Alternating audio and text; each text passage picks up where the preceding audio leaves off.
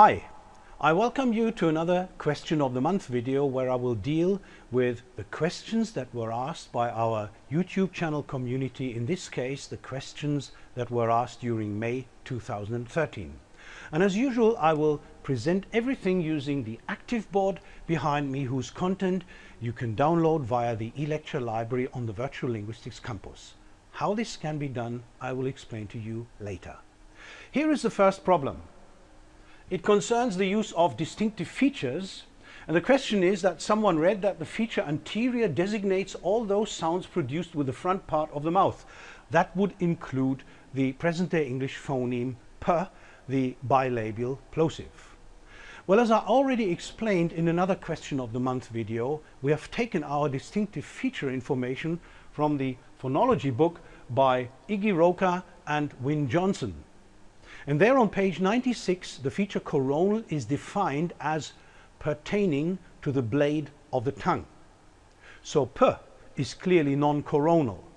Thus the feature anterior, which is dependent on coronal and divides the hard palate into two regions, does not apply at all in this case. So p, the bilabial plosive, is neither associated with the feature coronal nor with anterior. So it is not listed among those present-day English phonemes that are coronal. The top line, coronal plus anterior phoneme, phonemes, the bottom line, coronal minus anterior phonemes. The next question, well, here is a minor thing that surprised someone.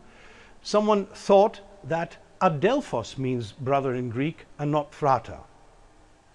Well, Greek frater means clan member and therefore has a broader meaning than its cognate in most dialects of present-day English, the cognate brother. It is thought that adelphos originated as an adjective used in combination with frater to mean something like brother of the wound and was later shortened and converted to a noun. But certainly frater can be taken as a cognate for English brother due to its phonological similarity. Another question which relates to languages, in this case language reconstruction.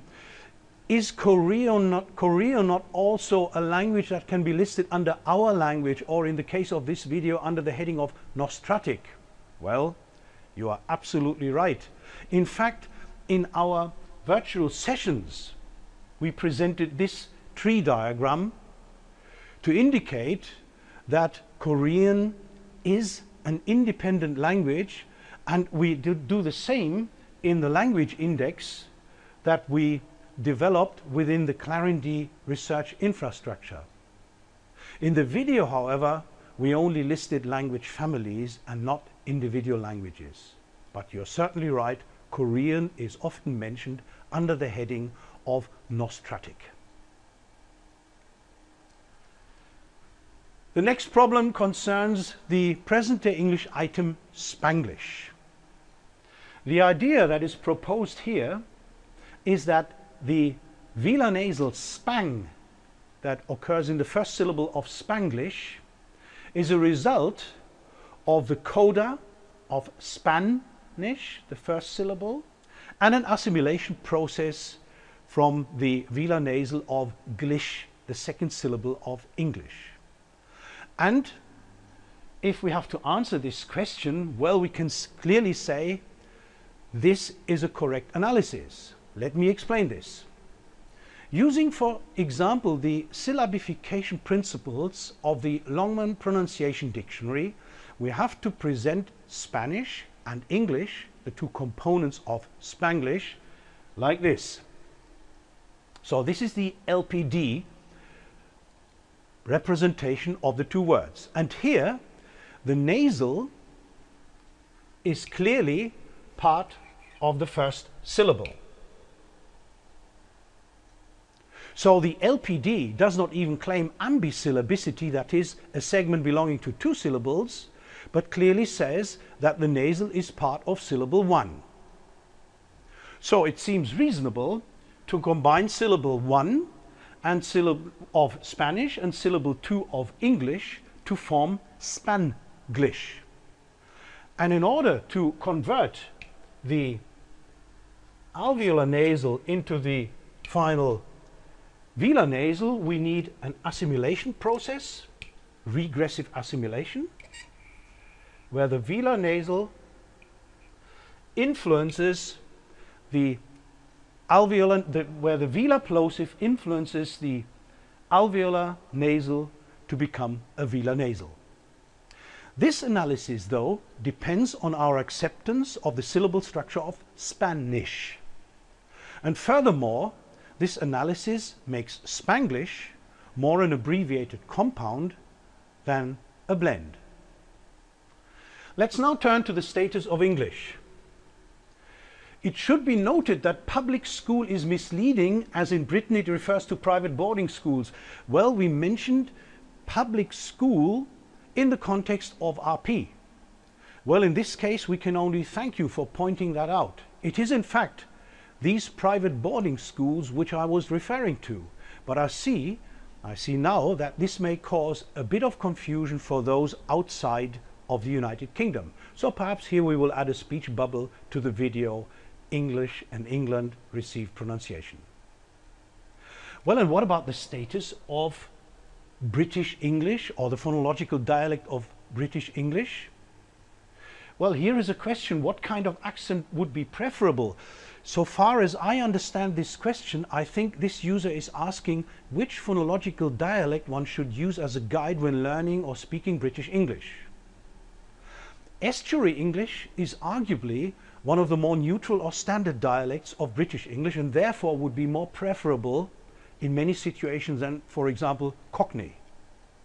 However, as a standard for teaching and learning British English as a second language, received pronunciation is still the phonological reference dialect. Let's now turn to some more general aspects. The first concerns our application in the massive open online course contest in Germany. You know there was a competition here to get financial support for the development of a massive open online course, a so-called MOOC.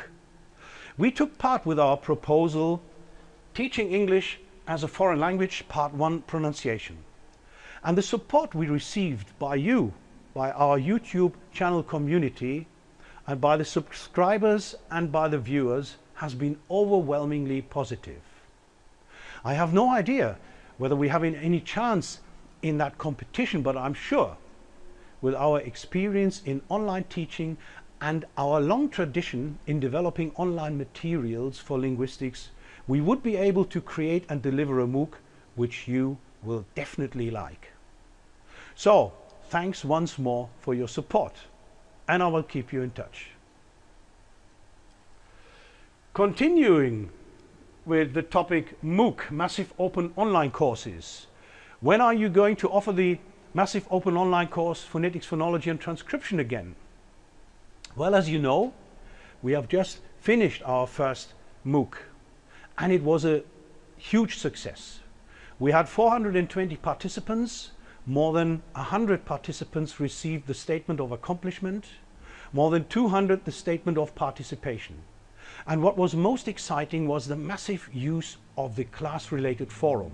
So after a short period of self-evaluation, we will now permanently offer MOOCs via the Virtual Linguistics Campus. And the Phonetics, Phonology and Transcription course will always be among them. So stay tuned for the next VLC massive open online course period. You will find all the details on the VLC homepage. The next general question is very interesting. Someone wants to know what kind of job opportunities linguists have. Well, those who have studied linguistics are sought in a variety of fields. Some of the more common career paths include teaching languages, working on linguistic research and fieldwork, teaching at a university, and working as a translator or interpreter.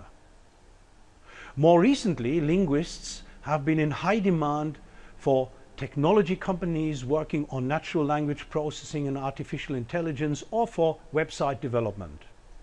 Additionally, linguists may work in publishing or journalism as language consultants for law or medicine, or therapists for those with communication disorders.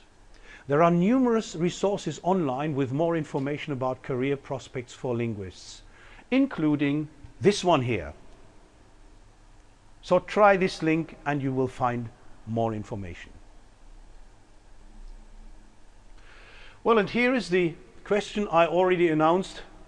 Is it possible to copy the transcripts of your e-lectures? So this content here that I create while recording an e-lecture. Well, of course it is, and it is extremely simple. The first step is you log in to the Virtual Linguistics Campus.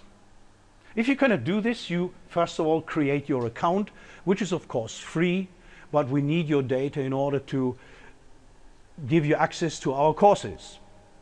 But it doesn't cost anything. So once you have logged in, you will immediately see your personalized VLC site where a number of options are displayed immediately, options available to all community members and one of them is of course the VLC e-lecture library. And a click on this link leads you to this website.